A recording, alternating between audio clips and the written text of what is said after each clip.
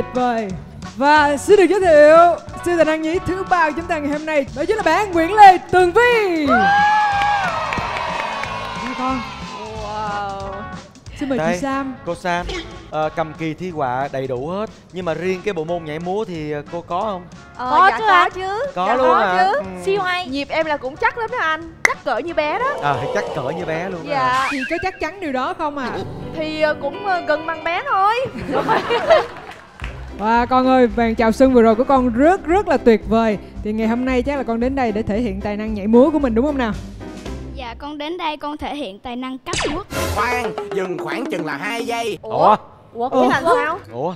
Sao rối não vậy? Vừa rồi con thể hiện một cái màn nhảy rất là đẹp luôn. Mà cuối cùng nó chỉ là một cái màn chào sân để giới thiệu về con thôi. Chứ còn tài năng thật sự để đến với chương trình là catwalk Dạ đúng rồi ạ Dạ Wow. Thực ra hồi nãy con nhảy rất là nhiều động tác và rất là nhiều thể loại Đúng. dance khác nhau luôn Đúng. Nhào lộn có, rồi hip hop, Dance rồi sport dance box, rồi waacking nữa Wow, ấn tượng quá mà tài năng bé đăng ký là catwalk nha. Con xuất hiện rất là lộng lẫy và xinh đẹp luôn Giống như là một cô ca sĩ chuyên nghiệp vậy đó.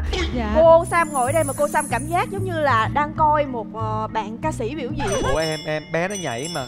Bé nó có hát câu nào đâu. Mà sao tự nhiên em cũng đang thắc mắc. Ờ, Em khen bé như một cô ca sĩ là sao? Không, tại vì kiểu mấy ờ, bạn ờ, ca sĩ anh thường đẹp đẹp cái xuất hiện cái nhảy nhảy quá trời đó Rất là lộng lẫy và phong cách Hàn Quốc nữa Tự nhiên em nghĩ tới ờ, những cái hình ảnh của ca, ca sĩ sĩ idol Hàn Quốc đúng không? Dạ. Cũng vậy đúng không? Dạ Cho câu hỏi là tại sao lại con lại rất thích môn catwalk? Vì hồi nhỏ là con chưa học mẫu giáo là con đang 5 tuổi con thấy ở trên mạng những cô đi người mẫu mang giúp cách rất là cao và con rất là đam mê. Mỗi ngày con tập luyện rất là nhiều và năm 2021 con ở với ba con và ba con đã huấn luyện con thêm về các quốc.